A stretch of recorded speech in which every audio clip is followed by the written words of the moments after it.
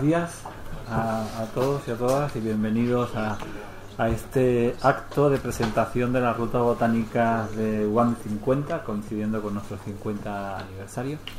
Tienen la palabra para que comente un poco lo que va a ser el acto y lo que significa el, rector Santiago Atrio.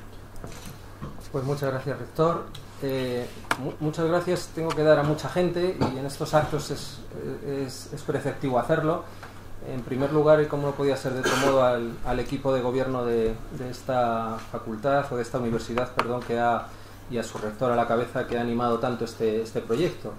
Y en segundo lugar, a mi compañera Margarita Alfaro y a, Pedro, eh, responsable Margarita Alfaro de, otra área, de otro vicerrectorado importante de esta, de esta universidad, y a Pedro como director de la oficina One 50 porque dentro de este, de este acto de conmemoración de los 50 años de la autónoma pues se ha integrado este proyecto que espero que resulte atractivo.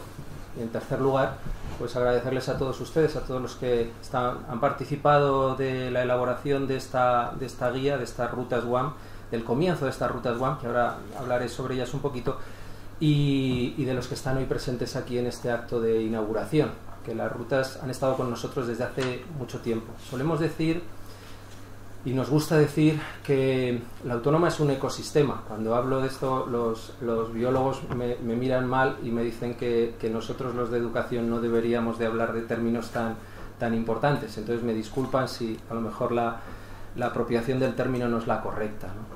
Eh, yo considero que la UAM está poblada por muchos seres eh, seres vivos que, que, la han poblado y que se han, eh, han, recorrido, la han recorrido de diferentes formas. Hemos empezado estas rutas WAM con unos seres que se mueven poco, pero que están entre nosotros hace bastantes años, que nos acompañan algunos de ellos desde que se inauguró esta Universidad Autónoma hace 50 años y que son parte de nuestra cotidianidad. Esos seres en este caso son botánicos, son los árboles y a ellos les hemos dedicado estas primeras rutas, que no van a ser las únicas. Porque hay más seres. Hay seres, lógicamente, personas que llevan aquí, que, han convivido con nosotros, que están conviviendo con nosotros y que han caminado el campus desde diferentes puntos de vista, desde diferentes recorridos, por diferentes necesidades, con diferentes cotidianidades, utilizando el campus para trabajar y también para descansar y relajarse y en ese sentido estas rutas WAM queríamos que también eh, hacer partícipes de esa historia de los 50 años a esas personas que han vivido y disfrutado de este entorno. Eh, no como memoria de nadie, sino como reconocimiento de que este ecosistema ha, estado poblado por muchos seres, algunos de ellos que ahora mismo no nos acompañan, de botánicos y también humanos y de cara al futuro pues eh, buscar nuevas eh, rutas, rutas WAM. Eh, debemos de conocer el entorno que disfrutamos para poder cada uno valorarlo en función de su criterio y desde ese conocimiento y esa valoración poder llegar a convivir con él. estamos soñando ya con unas nuevas rutas WAM que nos presenten a las aves que nos visitan en las diferentes épocas del año eh, lógicamente no como en el tema de los árboles, indicando exactamente dónde está cada una de ellas, porque tienen más movilidad, como bien sabemos todos. Pero sí cuáles nos visitan y, cuáles podemos contemplar y disfrutar. Están en nuestras guías, nuestras eh, guías eh, de, catálogo de aves de Madrid, que la SEO Montícola ha venido editando en los pasados años, y las queríamos hacer también presentes dentro de este proyecto One 50 ¿Y por qué no soñar con más, con mariposas, con otros seres que, nos, que, nos que, pueblan nuestro entorno y que debemos de aprender a convivir con ellos desde ese conocimiento y desde ese respeto a, todas, a todas esas formas de vida? Además, en un entorno tan significativo y singular como este. ¿no? Entonces, en ese sentido surge este proyecto, proyecto que, que tiene eh, una, una visibilidad en la página web que tenemos aquí eh, de las rutas One 50 en donde nosotros, en donde se pueden ver, se pueden observar, pues este, esta descripción que, un poco más breve de la que acabo de hacer y donde se puede acudir a la, descarga de esa aplicación para móvil, tanto en dispositivos Android como en dispositivos eh, de Apple eh, iOS, el sistema iOS. Y luego, pues todas las áreas de descarga con todo el trabajo que han hecho los compañeros, ahora presentaré, de la Facultad de ciencias, de, biología y los compañeros de One 50 con todo el gabinete de comunicación y con todas las familias que, que han colaborado, han contribuido a poder hacer ese homenaje también o ese reconocimiento a, a, esas personas que han estado entre nosotros. Eh, un poco por, por, por ver esa, alguna de esas fichas a modo de ejemplo, pues he sacado una ficha botánica, eh, en estas rutas etnobotánicas, por ejemplo, la ruta entera, pues nos va marcando el nombre científico y el nombre común de cada una de las especies que están identificadas, luego las veremos algunas de ellas si, nos, si tenemos ocasión aquí brevemente, dado por la meteorología, de ver alguno de los postes para que veamos esta, esta señalética, cómo está ese poste así colocado con ese color distintivo de la ruta que le da, eh, que, que, que, la identifica, el número de, que nosotros hemos señalado para poder orientar un poco en, esa, en ese reconocimiento, su nombre científico y su ilustración primero, el nombre científico y el nombre común, su familia, su origen y luego una descripción somera que los compañeros luego hablarán de ella, se han trabajado mm, muy arduamente para ver que sea lo más precisa posible.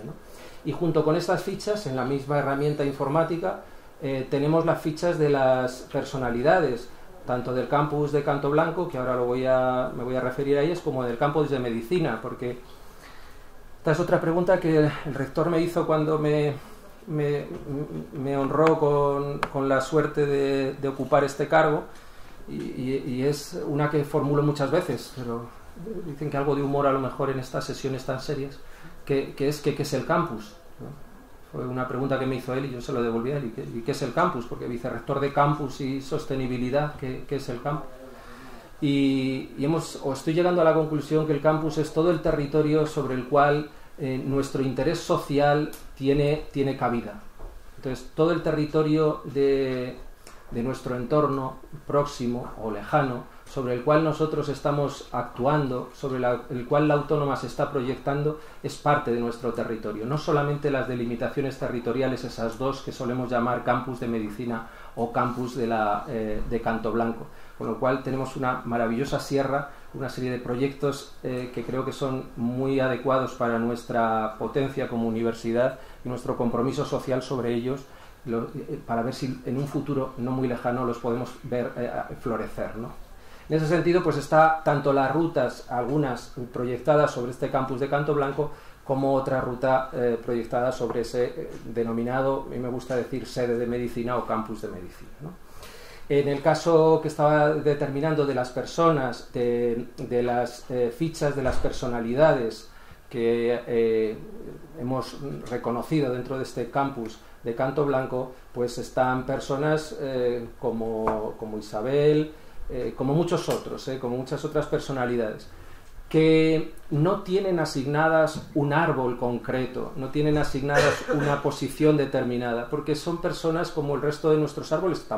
Hay muchos en robles, no, solamente el que hemos identificado nosotros como dentro de nuestras rutas, han estado presentes en muchos recorridos de, esta, de este campus y del otro y no queríamos simplemente ceñirlas a un espacio concreto o a, un, o a una especie, a un ejemplar determinado. Por lo tanto, el homenaje, si es que sirve de homenaje, de todas estas rutas, de todos estos campus, de todo este territorio, de todas estas personas que han contribuido con su selección a, identificar a estas personalidades, pues eh, válgales todos los, eh, el reconocimiento de todo este entorno y de todo este campus. Y pedir perdón también, pues ya que damos gracias, pedimos perdón por todos aquellos que no están, tanto los, los, las especies, porque a lo mejor en la selección pues eh, luego nos hablarán los botánicos y, habrá argumentaciones por qué no están estando estos, no están los otros, eh, como también las personas, que lógicamente no todas cabían. Intentábamos jugar con el número 50 en este, en este bonito aniversario de los 50 años y trabajar con ese número 50 reconociendo 50 personas, 50 personalidades de las infinitas personalidades que han poblado este campus y que son merecedoras de este reconocimiento, como de 50 especies que también están entre nosotros y que eh, han poblado este, este entorno privilegiado y el día de mañana pues podrán crecer, con lo cual tampoco es que estemos delimitando y estemos cerrando exclusivamente a ese número de personas o de seres que pueblan este campus. Ojalá nuevas especies pueblen nuestro campus y ojalá dentro de poco pues tengamos que hacer reconocimiento a, nuevos eh, eh, individuos que, compartan con nosotros este entorno privilegiado. Y esta es un poco la presentación de, de, lo que es estas rutas.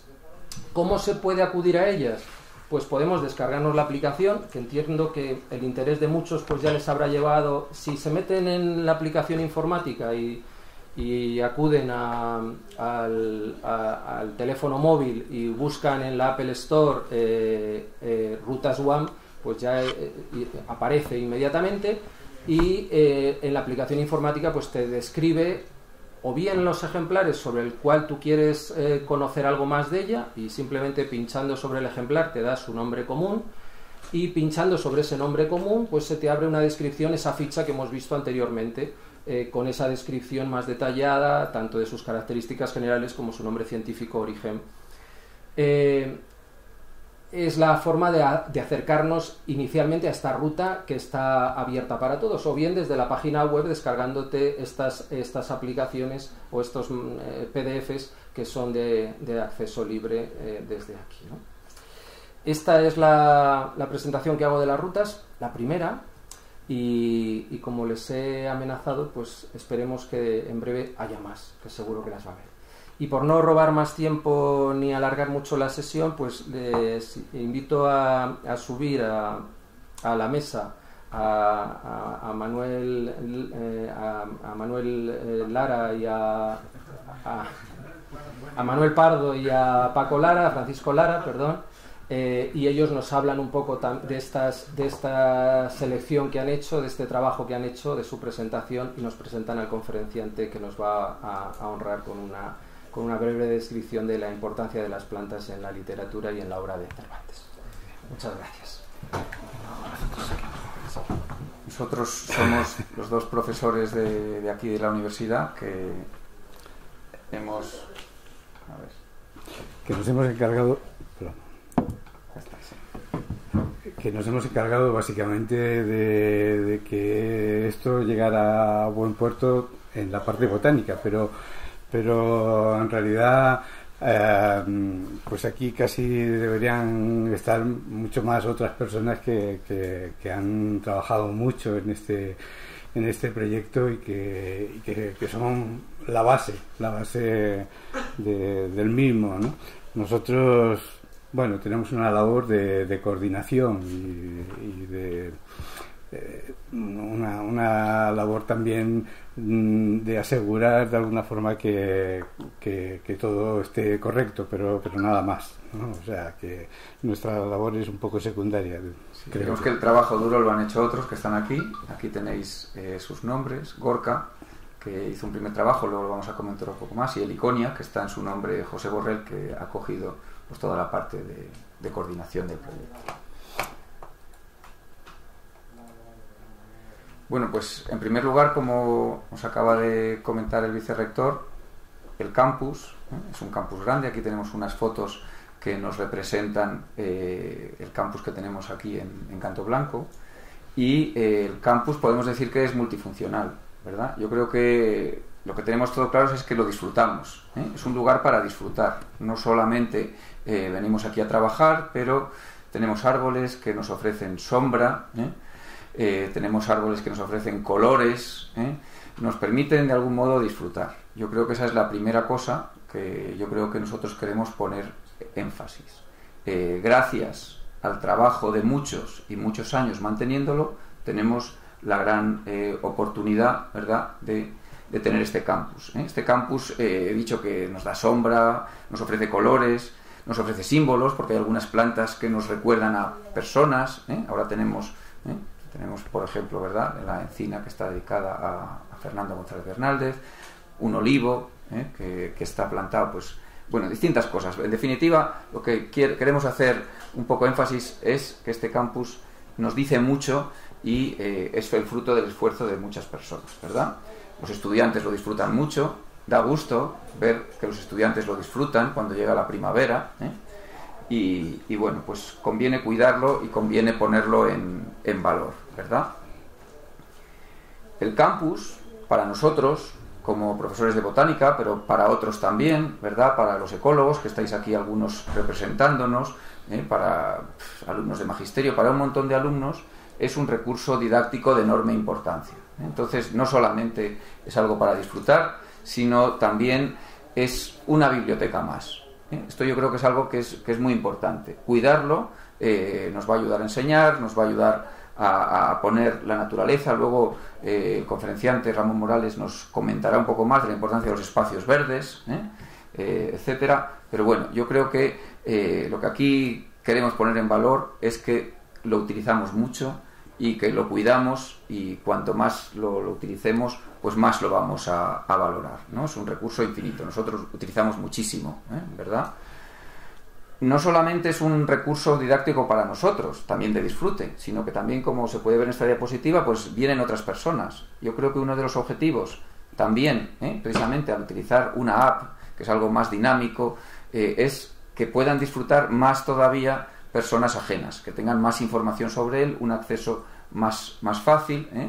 también pues los niños del colegio. Bueno, o sea que queríamos entonces, cuando se han hecho estas rutas, hacer algo que fuera muy divulgativo, que cualquiera pueda tener acceso a él, que también tuviera el rigor que ofrece la universidad, ¿no? el bien hacer y el hacer con, cuidado las cosas. El campus no solo se reduce, ¿eh? como acaba de, comentarnos también, a, nuestro campus, también tenemos el campus de medicina, también tenemos la cristalera, que es un paso más, como un recurso también didáctico, porque no solamente es esta naturaleza transformada, que es un jardín, sino que es una naturaleza también transformada, pero menos. ¿eh? Eh, la, mano del hombre llega a todos los lugares y es un recurso de enorme importancia que la sierra, pues desde luego nosotros, la semana, este, ¿no? este viernes, pues estaremos con los alumnos enseñándoles eh, pues precisamente esa zona de la, de la, sierra y sin duda es un, un recurso muy importante y complementario. Si pensamos ahora en lo, donde estamos hoy, ¿eh? en las rutas 50, pues hay que recordar un poco de historia. ¿Por qué tenemos aquí los jardines que tenemos? Lo primero es que es el fruto, yo creo que del interés, del trabajo, del cariño, de la ilusión de mucha gente, ¿verdad? Algunos estáis por aquí. ¿eh? Esos carteles que, por ejemplo, aparecen en esta foto, pues aquí hay personas que trabajaron mucho con ellos. Está por aquí Antonio García Villaraco, ¿verdad? eh, pues habéis trabajado y con mucho con, todo esto, con ayudar a que se reforzara la diversidad de especies que tenía el, el, campus. ¿eh? Eh, luego os voy a contar el número de especies, por ejemplo, que tenemos y qué cosas se han hecho. Se hicieron las rutas UAM 40, ¿verdad? Que fueron pues también un, un, hito importante, eh, con, señalándose muchos árboles. Bastantes de esos árboles los hemos recuperado, otros hemos cambiado, porque yo creo que está bien eh, olvidar pidiendo perdón, porque no hemos quitado algunos. me ha gustado mucho lo de pedir perdón a los, a los árboles, porque en realidad cuando hacíamos la selección dolía, era doloroso hacer la selección. Eh, había que dejarse unos árboles maravillosos, recuerdo, ¿verdad? Algunos pinos impresionantes, pues tuvimos que elegir a uno, ¿verdad? Bueno, o sea que es doloroso elegir. Es, doloroso, pero sin elegir no tendríamos lo que tenemos. Y polémico, también polémico, pero, pero bueno, o sea, pensad que, que bueno, que es una, una representación y que, y que en realidad mm, consideramos que, que todas las personas, pero, pero también todos los ejemplares eh, de, árboles y arbustos que tenemos son muy importantes. También en los árboles, por ejemplo, de la ruta UAM 40, es doloroso porque hemos despedido algunos de esos árboles. ¿eh? Por ejemplo, el, pino del Himalaya, un pino muy bonito que estaba inclinado, que lo reconoceréis y os acordaréis de él. O sea que también hemos tenido ¿eh? pues difuntos entre nuestros árboles y, los tendremos posiblemente. Bueno, pues esto un poco en homenaje a que esto no tenemos el campus que tenemos porque sí, lo tenemos porque eh, desde la gestión de la universidad, ¿no? Está también, por ejemplo, ¿eh? por aquí Carlos García de la Vega, que fue el primero que nos llamó. Eh, me ha parecido ver a Javier, el otro día por aquí, que durante muchísimos años hizo muchísimo por este campus. Entonces, bueno, pues es fruto de la gestión, del cariño, del trato, y yo creo que todos lo disfrutamos. El primer paso que se hizo con este trabajo es hacer un inventario. Esto le tocó a hacerlo a Gorka, es decir, volverse a pasear y recorrerse todas las calles, todos los jardines y en este caso ir viendo cuántas especies. No se, no se ha hecho un inventario ejemplar por ejemplar, ¿eh? que es algo pues pendiente a hacer y que sin duda alguna eh, es una labor que, merece la pena realizar, pero sí por lo menos decir qué especies son abundantes, de las cuales hay un solo ejemplar, en, qué lugares están, o sea, todo ese trabajo eh, lo hizo Gorka. Y en él, como veis aquí, lo que se vio es que tenemos 176 especies, lo cual está bastante bien. 78 de ellas son especies autóctonas. Pensando que son árboles y arbustos, ¿eh? hay algunas pequeñas matas también en este inventario, pero sobre todo árboles y arbustos, pues es una muy buena representación de la, de la flora ibérica. ¿eh? O sea que entonces podemos incluso decir que tenemos en el campus una especie de protojardín botánico, ¿eh? o sea que tiene futuro. Tiene futuro, sin duda. Tiene futuro, sin duda, se puede mejorar, se pueden hacer muchísimas cosas.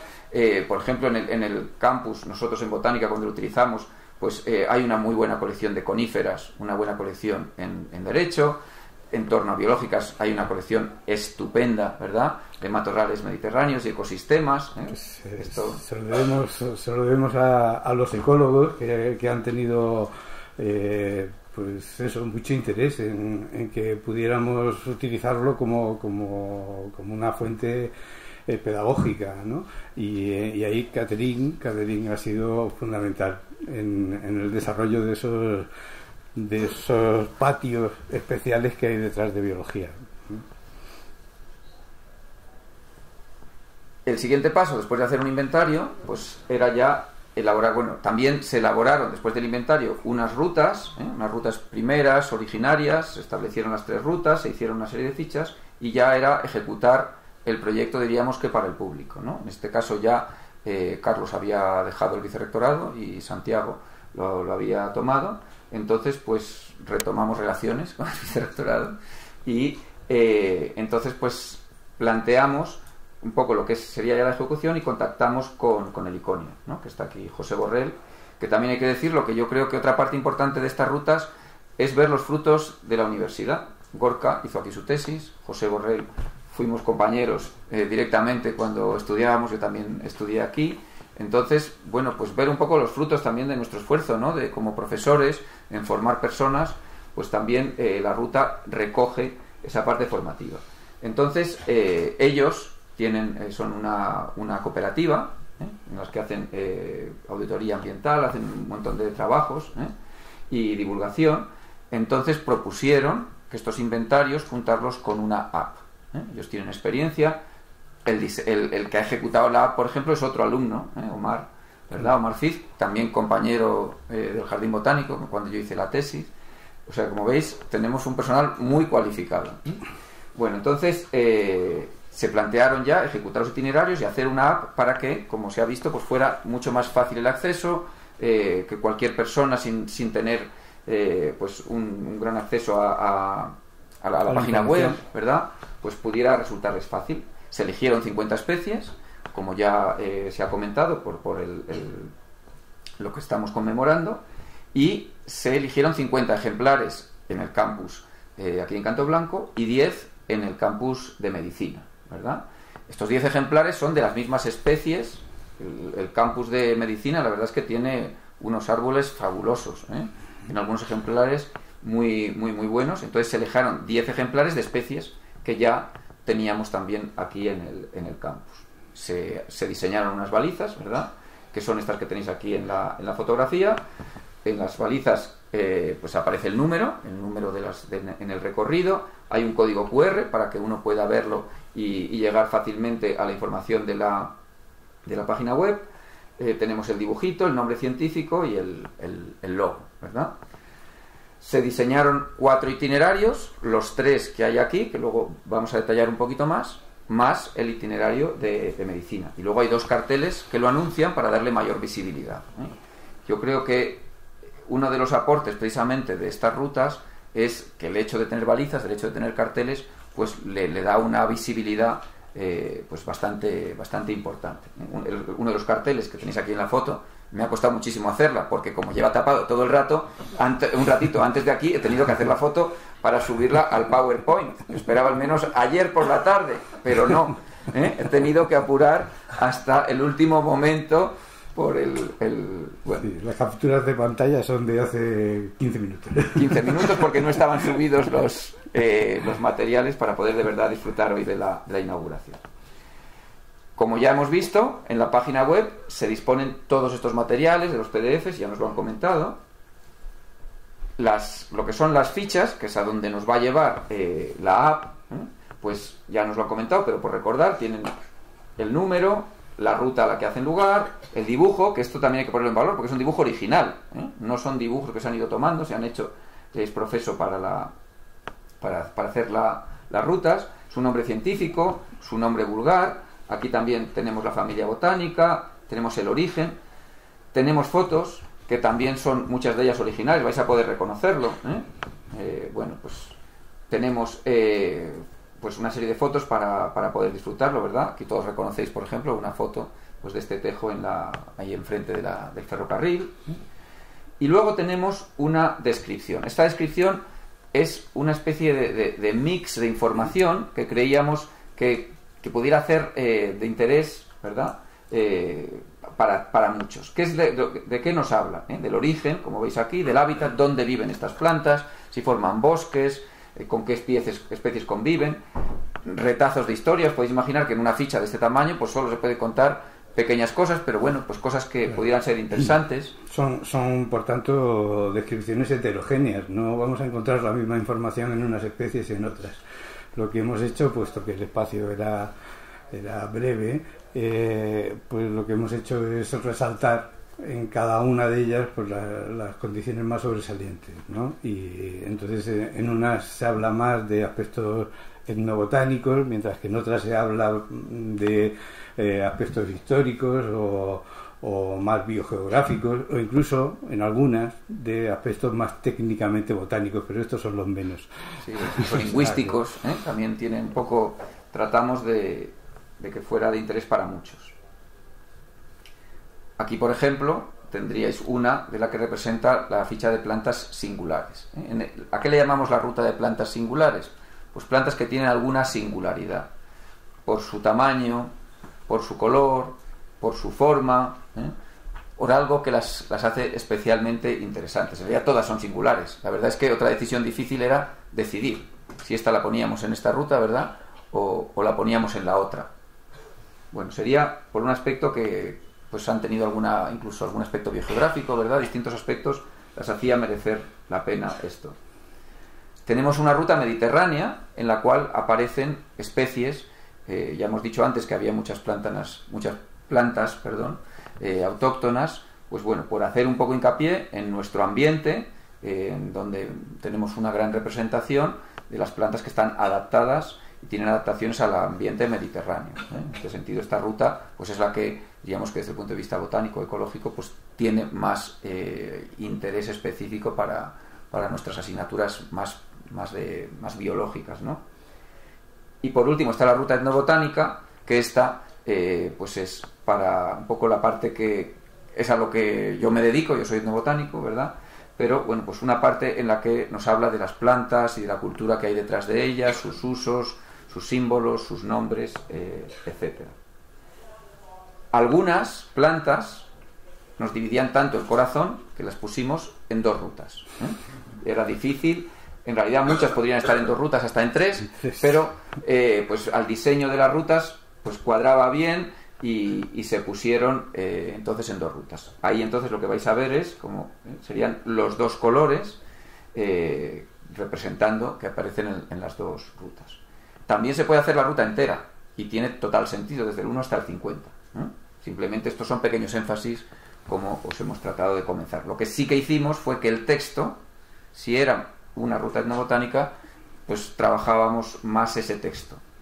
Si era una ruta mediterránea, pues trabajábamos más la parte de eh, aspectos relacionados con adaptaciones al ambiente mediterráneo. ¿eh? O sea, que es sobre todo en el texto donde va eh, estos aspectos.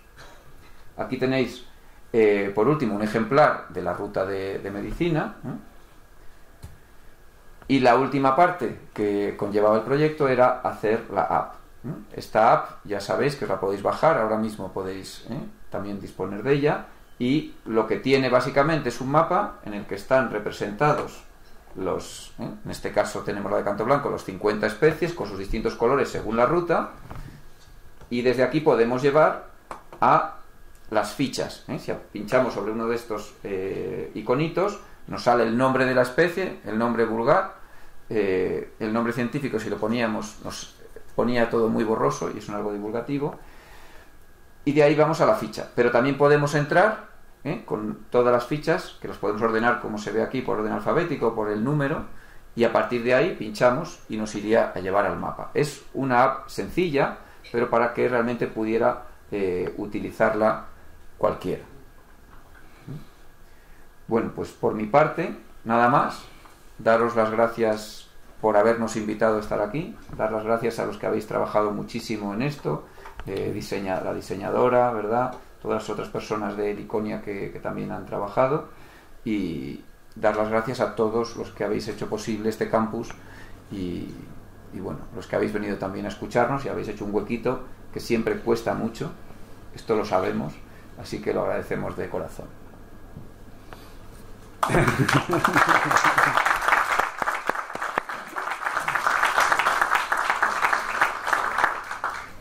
Bueno, pues entonces os pasamos a presentar. Sube Ramón. A Ramón Morales. Ramón Morales es investigador del Jardín Botánico, es vicedirector del, del jardín en este momento eh, como ya os he comentado, él fue mi director de tesis, también de, otros de los que estamos aquí, como Manuel Macía. Él fue también, ha sido profesor eh, de aquí de la universidad, porque durante siete cursos dio un curso de etnobotánica, que ayudó pues a que unos cuantos de los que estamos aquí eh, pues nos animáramos a, investigar en este, en este camino. Y además de su gran interés por la etnobotánica, o su centro de, investigación es la taxonomía botánica. ¿eh? Él es especialista en un género enrevesado, que es el género de los tomillos. Eh, después de estar muchas horas a su lado, seguía preguntando, bueno, ¿y esta cuál es? ¿eh? Porque después de explicarme específicamente cómo, la clave, todo, pues me equivocaba a lo mejor en el 30% de las, de las veces. Bueno, pues muchísimas gracias por, por haber venido aquí y él nos va a hablar, como vais a ver, de las plantas que aparecen en la literatura, en concreto en la obra de Cervantes. La clave significaba que no estaba demasiado clara. sí, ya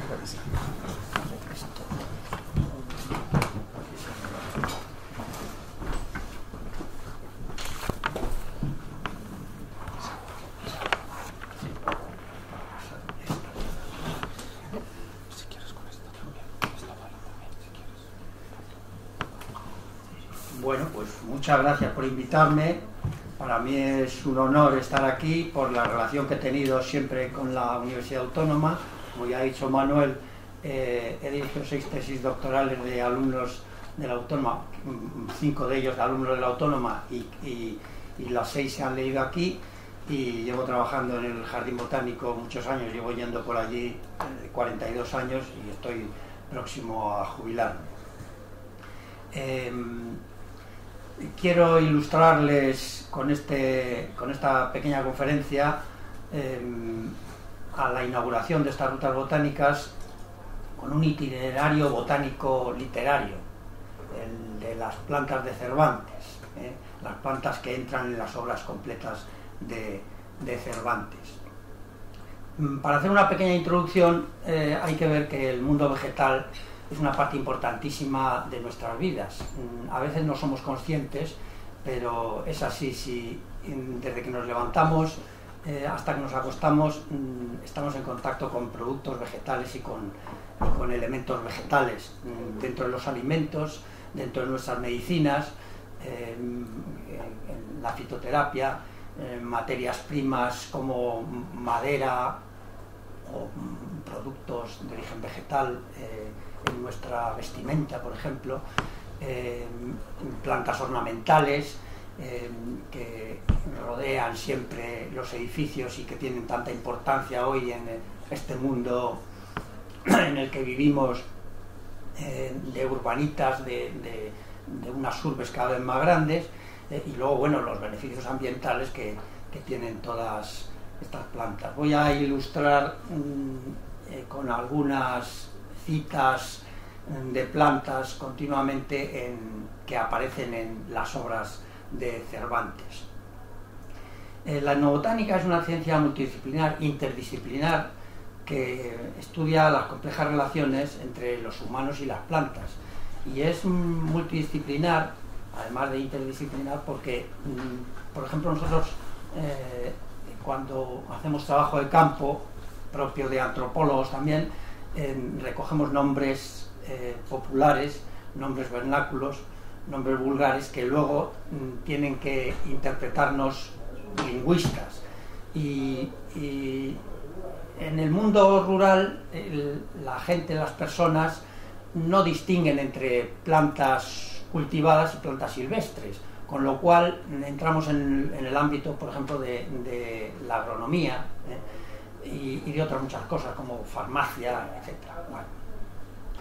Em, em, resulta que el medio natural circundante que nos, que nos sigue condicionando, porque si nosotros Mm, vemos alrededor nuestro aquí eh, la dehesa de ahí al lado o la dehesa de aquí de, de, Canto Blanco o mm, vemos encinar, vemos pinar de pino piñonero ¿eh?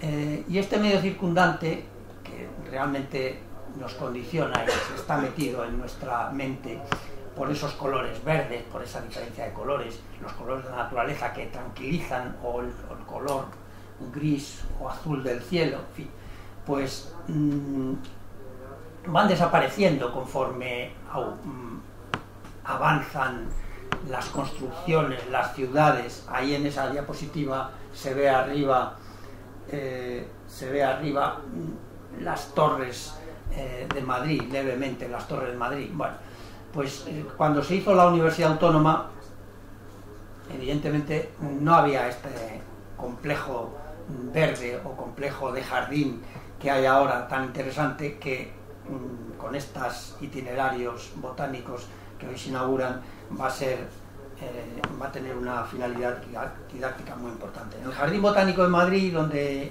yo trabajo, en el año 2005 se inauguró una guía, un itinerario botánico mm, sobre las plantas de, del Quijote y se hizo este, este folleto. En el año 2000, era el aniversario de la, mm, cuarto centenario de la primera edición de, la, publicación de la primera parte del Quijote. En el año 2016 con motivo del cuarto centenario de la muerte de Cervantes, se volvió a hacer otra ruta botánica también de plantas del Quijote, algo ampliada, eh, que tiene ya esa señalización como la de aquí que hoy se inaugura con códigos QR. ¿eh? Y eh, aparte de eso, en el Jardín Botánico tenemos otra serie de guías, otra serie de rutas como la, las de árboles singulares y otras diferentes.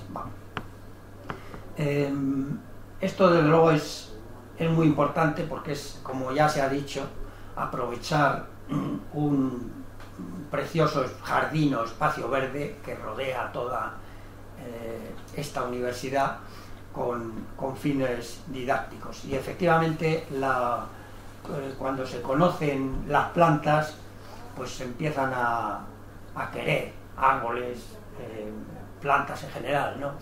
Eh, los árboles realmente son unas son unos seres magníficos, en general las plantas, pero los árboles en especial son mm, algunos por su majestuosidad, por su manera, por su porte nos, nos sobrecogen. Eh, es triste que todavía haya una mentalidad eh, de urbanita muchas veces, o, de, a veces de hombre de campo que mm, de, de secano que luchaba contra los árboles, que parece que es que los árboles molestan, incluso mm, se deja el mínimo alcorque, incluso se, se plastifica ya el alcorque, que es el colmo. Eh, tenemos que ver que los árboles son unos seres vivos magníficos que nos reportan unos grandes beneficios desde muchísimos aspectos. ¿no? Qué ha pasado aquí. Mm, Estas son las 50 especies de árboles y arbustos de la ruta de la. ¿eh? Con asterisco están señalados mm, los árboles eh, y arbustos que cita Cervantes en sus obras. Algunos que tienen interrogación es que cita especies próximas, porque ahora como vamos a ver, em, el trabajo hecho pues muchas veces es, mm, lleva a dudas, ¿no? como los sauces o los chopos o, los, o algún pino. ¿eh? Bueno. Pues de, los, de las 50 árboles mm, de esta ruta nueva, árboles y arbustos, 25, eh, prácticamente la mitad, los, los cita Cervantes en sus obras. Mm, Con motivo de el primer, el, el- año 2005, mm, hicimos un libro, mm, en parte inducidos por, por, por Pedro, que, que nos encargó un trabajo sobre, sobre la botánica en, Cervantes y, ya decidimos ver eh, todas las plantas de las obras completas de Cervantes y eh, se publicó un libro y un segundo y un segundo libro en el año 2016 con otro formato y un poco ampliado. Esto, por supuesto, no se nos ha ocurrido a nosotros. Hay mucha gente que ha trabajado sobre las plantas de, de Cervantes. Ya en 1895 Colmeiro mm, sacó una noticia sucinta de los animales y plantas que mencionó Cervantes en el Quijote. Y dice eh, que no conoció el tabaco ni el chocolate, como efectivamente ni el tabaco ni el cacao estaban citados en, en el Quijote, pero sí en otras obras de Cervantes.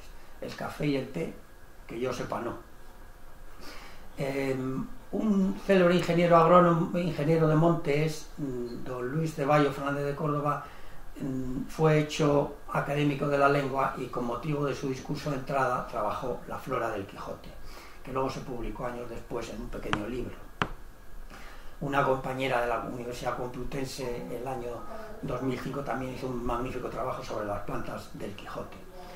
Eh, nosotros mismos, eh, con eh, compañeros y profesores de aquí, hemos hecho, presentamos eh, eh, las plantas en las obras completas en un, en un, en un- congreso, hicimos un trabajo para, en inglés mm, para una revista, mm, una revista norteamericana del Jardín Botánico de Nueva York.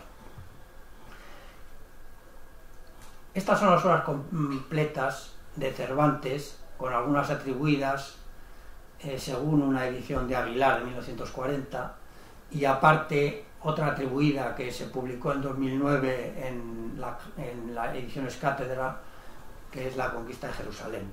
Pues de todas estas plantas eh, hemos leyendo mm, y anotando todas las mm, referencias que había a plantas y a productos vegetales, eh, hemos hecho un, repertorio de estas citas y con este repertorio hemos intentado después eh, asignar a cada nombre eh, una especie botánica.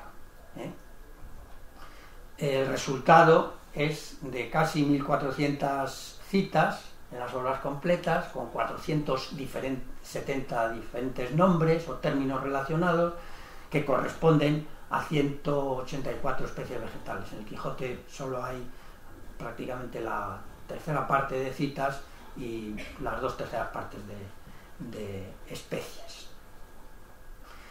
Eh, claro, al abarcar tantos aspectos, una obra mm, completa como la de Cervantes, pues hay plantas que se refieren a, que están en el paisaje, mm, son árboles o arbustos de la flora mayor, mm, hay plantas silvestres, hay plantas cultivadas, ¿eh? hay plantas de huertos, hay hortalizas, hay plantas de cultivo, claro, mm, los cultivos más importantes que es la vid y el olivo, em, o, o, el trigo, hay plantas silvestres comestibles, plantas medicinales y aromáticas, otras de diferentes usos, plantas ornamentales y muchas plantas que se usan como recurso en el lenguaje, como recurso literario o mm, plantas simbólicas. Entonces se trata de ver la relevancia de cada planta y ver datos curiosos de, cada una de ellas. Aquí está, hay una, todas las plantas que salen y hay algunas em, con todos los términos en la segunda columna, el nombre científico en la primera, los términos que aparecen en la segunda columna y las referencias de los grupos de, mm, obras en, Cervantes. Por ejemplo, mm, hay muchos términos para, para, la higuera o para el avellano o para el laurel ¿eh? o mm, para el olivo o la encina o el alcornoque o también mm, naturalmente para el trigo, para la vid y para, por ejemplo, los, la, rosa. Bueno, entonces ahora vamos a ilustrar mm, con unos cuantos ejemplos que salen todos eh, ya en esta aplicación app del, del, eh, del, de la guía, del itinerario que se ha hecho aquí, pero bueno, vamos a ir em, de alguna manera comentando para ilustrar esta, este itinerario que hoy se inaugura. La encina, pues hay 40 citas de encina y 13 de bellotas. ¿eh? Podríamos decir que la encina es el árbol dominante en, todos los ámbitos, en todos los ecosistemas o en gran parte de, los, de, los, de las formaciones vegetales en, España y Portugal, en la península ibérica. ¿Eh? Su nombre científico, Quercus, tiene el mismo, el mismo, la misma etimología que cuero, porque con su corteza se curtía. ¿eh? Y curtir, como saben, eh, fue muy importante y fue la primera manera con las pieles de, protegerse del frío. Las fibras de elastina de, de nuestra maravillosa piel, que se quedan tiesas cuando una piel muere de un animal, pues hay que volverlas esa elasticidad eh, con unos materiales que están, por ejemplo, materiales curtientes, taninos y una serie de polifenoles que están presentes en, la corteza de la encina, por ejemplo, y de otros muchos robles. ¿eh?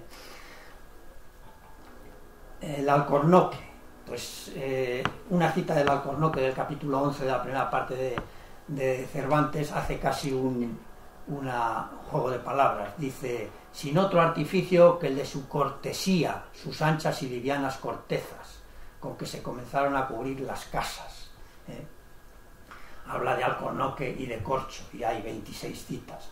El corcho, como se sabe, es un producto mm, maravilloso que nos da este árbol también curiosísimo mm, que tiene su óptimo en el oeste del Mediterráneo y mm, donde más prácticamente en, la, en el oeste de la península ibérica, ¿eh? mm, las, formando esas dehesas junto con la encina.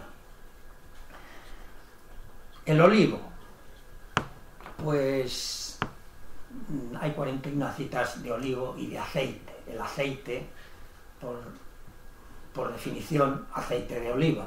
No concebíamos otro en, nuestro mundo mediterráneo.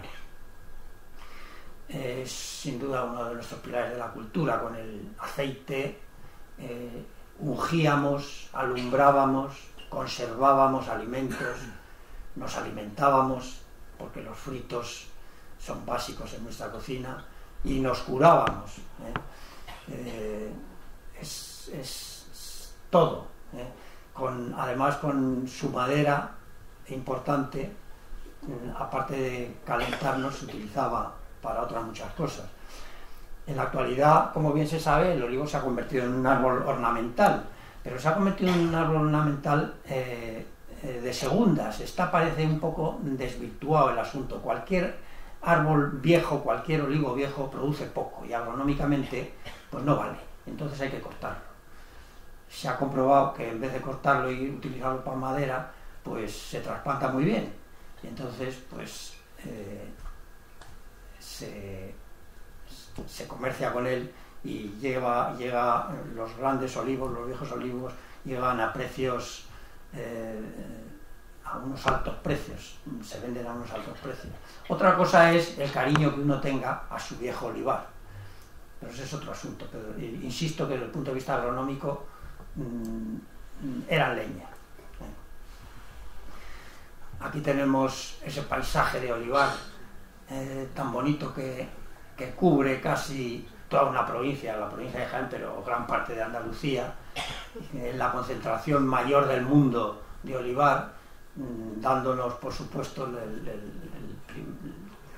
somos los primeros y los mejores productores de aceite de oliva del mundo. Pero y hay una, madera con un mueble de, de olivo, una silla mm, de madera de olivo, y un cesto de olivo. Eso era tradición y se está perdiendo. Las varetas de olivo, cuando había que quitarlas, mmm, se limpiaban los olivos y había que quitarlas porque chupaban y no interesaba, se utilizaban para hacer cestos y hasta hace poco mmm, sigue habiendo en, en, Córdoba, sobre todo en Posadas, en un pueblo de Posadas, mmm, cesteros que siguen haciendo cestos de olivo se hacían de temporada, se utilizaban y luego se quemaban y se volvían a hacer. El granado. Parece mentira que un árbol eh, con que es introducido, no es de aquí. Probablemente lo trajeran los eh, se trajera en tiempo de los fenicios ya. Mm, se ha silvestrado, pero hay variedades cultivadas que dan unos frutos con bien de, con bien de granos, lo, pese a lo difícil que es pelarlo y conseguir los frutos, sigue, sigue siendo un fruto mmm, relativamente bastante utilizado. ¿no? Eh, la cáscara de los frutos y las raíces se utilizan en medicina tradicional y son, son eficacísimos eh, para limpiar de lombrices intestinales, de parásitos intestinales. Eh, esto ya es antiguo, pero parece que ahora revive, hacer la bebida llamada granadina. Mm, hay, un, hay pocas mm, alusiones al granado en la obra de Cervantes, pero una de ellas es muy curiosa mm, para decir de, aprendió a comer a lo melindroso, un tenedor que comía con tenedor contener las uvas y aún los granos de la granada. Se le ocurre a poca gente comer la granada, los granos de granada con, con tenedor. Mira si eran, sería melindroso. El nogal es el árbol noble nuestro con una madera excepcional que ha servido para talla de, siempre. Se hace en alusión a apellido, a mm, el fruto, a el árbol, por supuesto. Mm, como es bien sabido, mm, es una planta utilizada para teñir importantísima, la nogalina, para teñir madera, y es una planta cuyas hojas eh, son aromáticas con un olor magnífico que ha servido también como planta medicinal, se ha utilizado siempre como planta medicinal. No falta el boj en ningún claustro, de ningún monasterio ni de ninguna catedral. Esta es la catedral, el claustro de la catedral de Segovia, en que hay unos bogs eh, mm, extraordinarios. Esos arbolillos que se ven son boj aparte el cordón de boj, utilizado el boj como siempre para hacer pequeños setos o cordones en jardinería. Eh, es una planta emblemática que se utiliza en muchos pueblos de España como un ramo de Domingo de Ramos, el buje. ¿eh?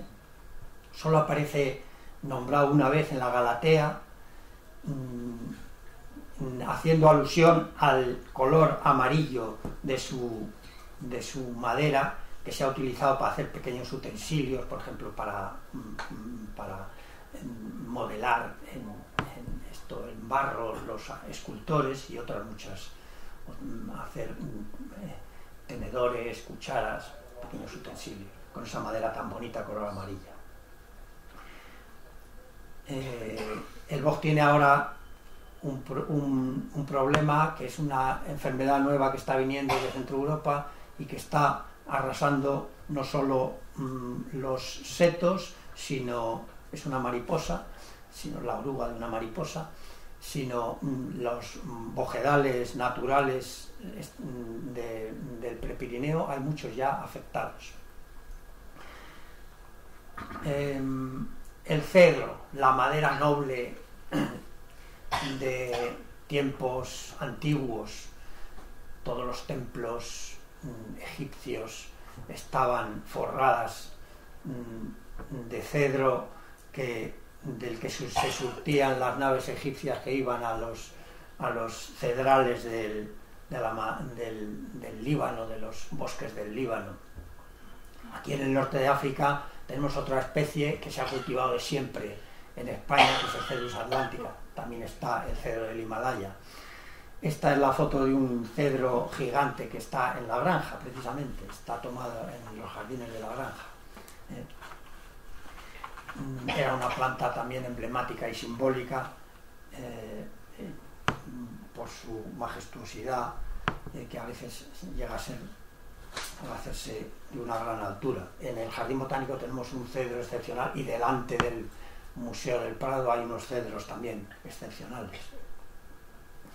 El taray solo se cita una vez en, una, en, en el rufián viudo llamado Trampagos, que dice, los médicos dijeron que tenía malos los hipocondrios y los hígados, y que con agua de taray pudiera vivir si la bebiera 70 años. 70 años en aquel entonces era una edad respetable. Cervantes no llegó, le faltó poco, pero no llegó. Eh, ahora, con 60 años, eh, aún parece, se comenta, si solo tenía 70 años cuando, cuando una persona muere. Mm, ah, parece que han cambiado las cosas. El palmito, siempre alude eh, Cervantes eh, al palmito como vestido como un palmito.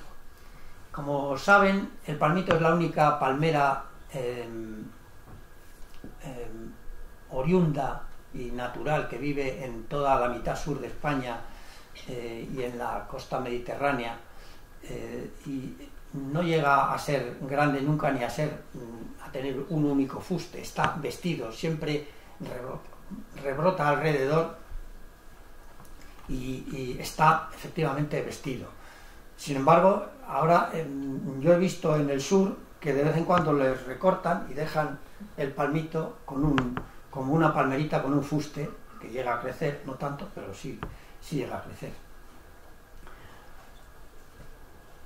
El avellano.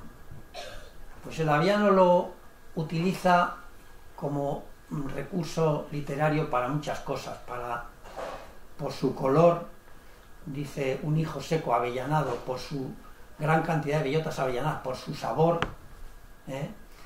Em, como, como nombre también, Avellaneda, eh, como, mm, para, como comparación de tamaño ¿eh?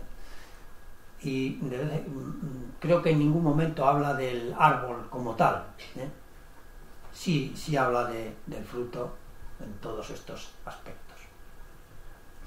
Es un matorral arbustivo, un arbusto, un gran arbusto que vive de manera natural en, toda en todo el norte de España y en las zonas húmedas del centro y sur y mm, se cultiva sobre todo en, Cataluña y Levante para la producción de avellana, aunque hay también otro, otro avellano mm, de fruto mayor que viene del este del Mediterráneo, mm, de Turquía, que es el, otra especie Corylus columna.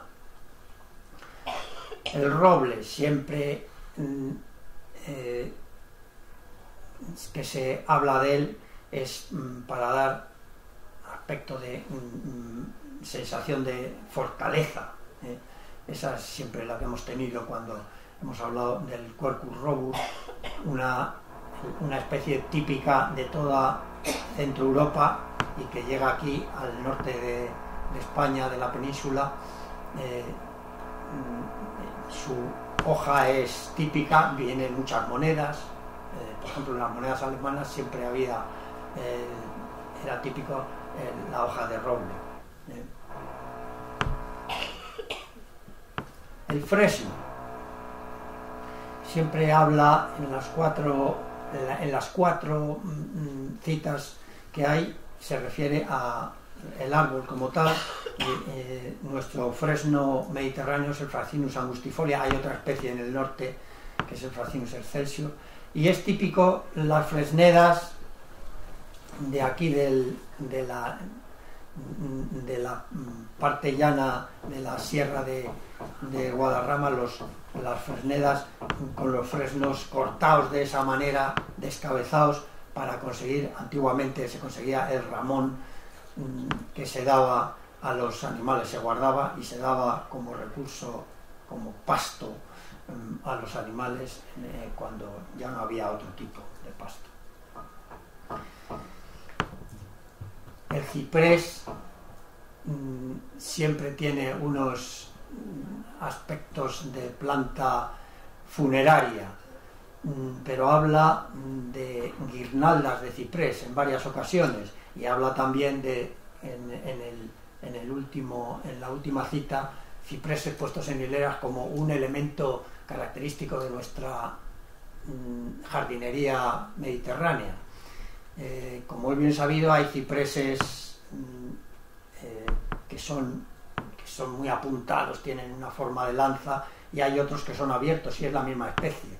Mm, el ciprés es natural del este del Mediterráneo, vive de manera natural en la isla de Creta, en la isla de Chipre, de ahí probablemente viene su nombre científico eh, genérico, Cupresus, y allí mm, vive como aquí las sabinas y los enebros, eh, achaparrado y, es raro encontrar esas formas de manera natural. Parece una, forma que se ha obtenido por selección en jardinería y que se ha, se ha distribuido a lo largo de ya de todo el mundo y es el, símbolo probablemente de, de, planta viene a simbolizar la muerte como planta utilizada en los cementerios. Hay muchas citas del laurel. El, laurel tiene una hoja que se utiliza muchísimo eh, en, alimentación, ¿eh? Eh, tanto para dulces como, como, condimento en dulces incluso, no solo en, en salado. Pero resulta que tiene el frutito del laurel que se llama vaca, en latín, ¿eh? y creo que también en italiano, ha dado lugar a mm, nombre, mm, los antiguos bachilleres se ponían una corona de laurel con frutos. Y de ahí viene, mm, por etimología, probablemente a través del francés, el nombre de bachillerato. Es muy curioso que en el laberinto de amor eh, Cervantes cita una palabra intermedia, dice, sin un sino un mero bacalario, diestro músico estudiante, refiriéndose probablemente a bachiller. ¿Eh? El frutito del laurel es como un pequeño aguacate. Los aguacates son de la misma familia y se ha utilizado mm, en medicina como, como curativo. Una planta tóxica pero muy importante en España es el tejo. ¿eh? Lo único no tóxico del tejo es precisamente esa especie de frutito rojo que se puede comer sin morder la semilla de dentro, porque si muerdes la semilla de dentro te intoxicas. está mm, llena toda la planta de una sustancia química que se llama taxina, de la que se ha obtenido mm, recientemente, bueno, hace unos años, un paclitaxel, un, compuesto químico por hemisíntesis que se utiliza en, quimioterapia de cánceres, sobre todo de, pecho y de, vagina. Eh, solo lo cita Cervantes en una ocasión para hacer también guirnaldas de tejo. Otra planta tóxica muy utilizada y muy nuestra es la delfa o baladre. Hay un dicho que se dice es más malo que el baladre. Pues efectivamente, el baladre, la delfa es tremendamente tóxica. Se ha seguido utilizando, sobre todo en Marruecos y en general en el norte de África, para envenenar con polvos de hoja de baladre, pues se envenena, se intoxica a la gente hasta, vamos, que, que se muere la gente. ¿eh? Es curioso la última, la última cita que dice coronada de amarillas y amargas adelfas. Amarilla no sé si se refiere al color amarillo que a veces toma el tono de las hojas o mm, adelfas de color amarillo que son raras, pero hay eh, flores, eh, hay adelfas de flores amarillas, aunque insisto que son muy raras. La delfa, como es bien sabido, es una planta natural en todas las ramblas y en todos los bordes de los ríos del sur de España. Otra planta traída del este del Mediterráneo que ya nombra Cervantes es el cinamomo o acederaque, la media acederach, muy emparentada con mm, la cidirasta índica, que es otra planta asiática mm, de la India y del, y del, sur de Asia que se utiliza, sus mm, compuestos se utilizan como insecticidas, insecticidas biológicos. Habla de, en los trabajos de Persiles y Sigismunda, del cinamomo, que es esta planta Mm, es un árbol que no llega a, tener nunca gran talla y como consecuencia está, por ejemplo, plantada en toda la avenida de la Castellana, pegado, al, pegado a los coches, pues ahí está lleno de, esta planta. El fruto tiene un, hueso mm, de sección eh, estrellada que se ha utilizado para hacer rosarios era una de las razones por las que mm, probablemente era muy plantada en muchos sitios. Y el romero, ¿qué decir del romero? Eh, hay unas cuantas citas del romero, esta es una de ellas, eh, creo recordar. Mm, es el ingrediente del bálsamo de fierabras junto con aceite, sal y vinagre que cura a, mm, que cura a Don Quijote y a Sancho Panza. Es un arbusto muy frecuente, tiene su óptimo en la península ibérica, es donde hay poblaciones más abundantes y va siendo raro hacia el este del Mediterráneo. Una especie melífera importantísima con miel monofloral.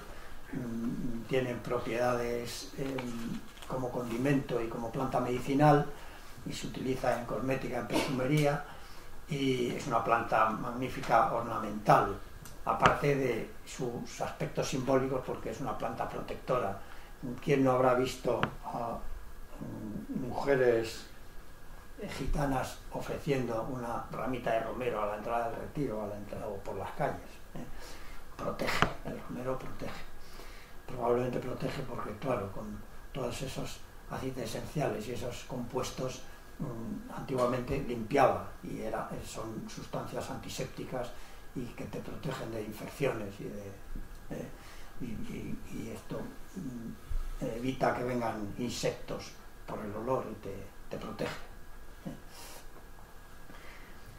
Eh, esta es la entrada de la cueva de Montesinos eh, el año pasado, es una foto hecha el año pasado. Según nos cuenta mm, Cervantes, llegaron a la cueva cuya boca es espaciosa y ancha, pero llena de cambroneras, cabraigos, de zarzas y malezas. Cabraigo, el higo silvestre, la higuera silvestre. Es una de las plantas que está en la ruta eh, que hoy se inaugura. Bueno, pues estos son los árboles silvestres y cultivados 45 que cita Cervantes en sus obras. Mm, de pasada, podemos decir que es una planta muy importante también la palmera datilera, habla de los dátiles, habla de escoba de palma, habla de un cesto de palma ¿eh? y por supuesto como planta emblemática, triunfo y de honesto triunfo y vencedor a palma. O el olmo, ¿eh? los olmos que como se sabe con la enfermedad esta la grafiosis han dejado de, mm, de existir muchos de ellos, este uno de ellos, el olmo de pareja de Guadalajara que era famoso, murió. Esto es una, tomó en 1996 y murió en 2000 y pico, murió.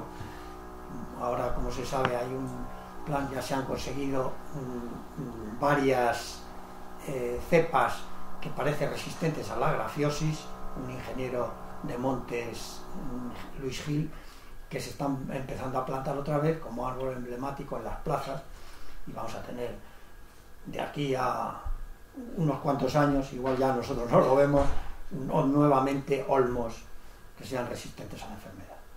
O la azucena, de la que habla, ¿eh?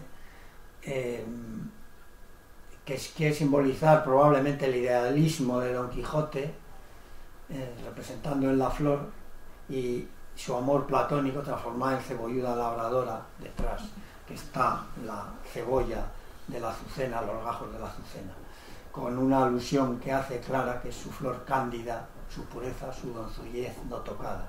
Como se sabe, el nombre científico de la azucena es Lilium cándido.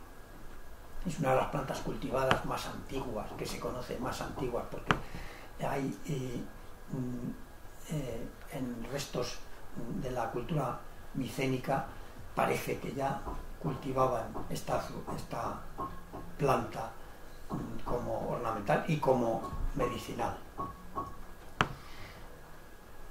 Para terminar, cita Cervantes en sus obras tres plantas americanas, exclusivamente americanas, que son el cacao, el pimiento y el tabaco. Bueno, pues en una y breve, llamémosle de conclusión, nuestra cultura mediterránea podemos decir que es un, se sustenta en un entramado de plantas que vienen bien reflejadas en la obra de Cervantes. Por ejemplo, la vid, el trigo y el olivo como plantas cultivadas, la encina y el alcornoque como plantas silvestres y, otras de ellas que señala muchas veces, que indica muchas veces como la palmera, el laurel, la caña, el ciprés, la higuera, el peral y el rosal.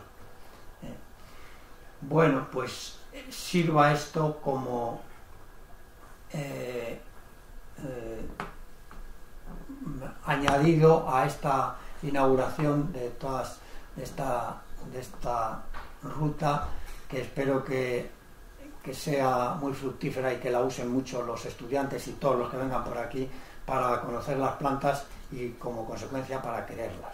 Muchas gracias. Muchísimas gracias por esto. Sí, Santiago. Eh, había, eh, había omitido antes en los agradecimientos, intencionadamente para cerrar antes de clausurar el rector, unas palabras de agradecimiento especial a las personas que había dicho antes que habían hecho posible este, eh, estas rutas, igual que muchas otras cosas en el, en el, campus de Canto Blanco, en el campus de Medicina, en el entorno de la UAM.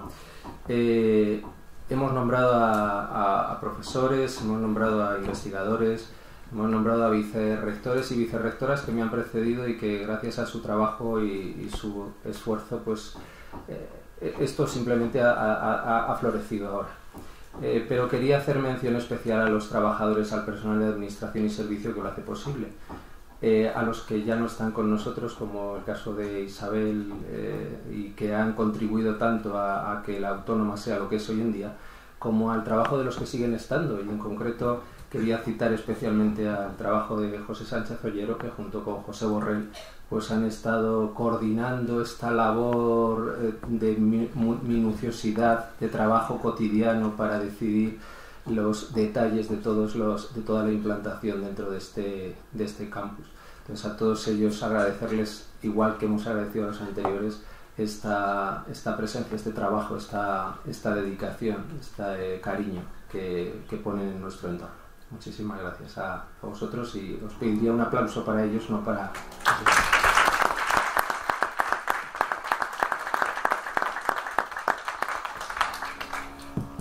Bueno, por mi parte tengo no mucho más que añadir, desde luego sumar más las palabras de Santiago de agradecimiento a todos los que han hecho posible este proyecto, este proyecto tan, tan bonito, ¿no? Y que se, se, pone en marcha en, esto, en esta celebración de los 50 años de nuestra universidad, pero como bien se ha resaltado en la sesión de hoy, pues es fruto del trabajo de muchísimas personas. Eh, y desde luego eh, mi, mi más sincero agradecimiento a todos en primer lugar. También a las presentaciones que nos han hecho esta mañana los, profesores Pardo y Lara y también a la, conferencia tan bonita, a la presentación tan bonita que ha hecho el profesor Ramón Morales, que ha resaltado desde el punto de vista, yo diría, no solamente científico y literario, sino también emocional, lo que son y lo que representa, uh, bueno, por todas estas especies de que, que, nos rodean y que tan importantes son para, para nuestras vidas. Yo la, la verdad que, que, soy también un profundo admirador de lo que es la biodiversidad. Ayer, ayer tuvimos la grabación de biología, del grado de biología de este curso 2017-2018 que tuve la, la, verdad el honor de, poder estar allí.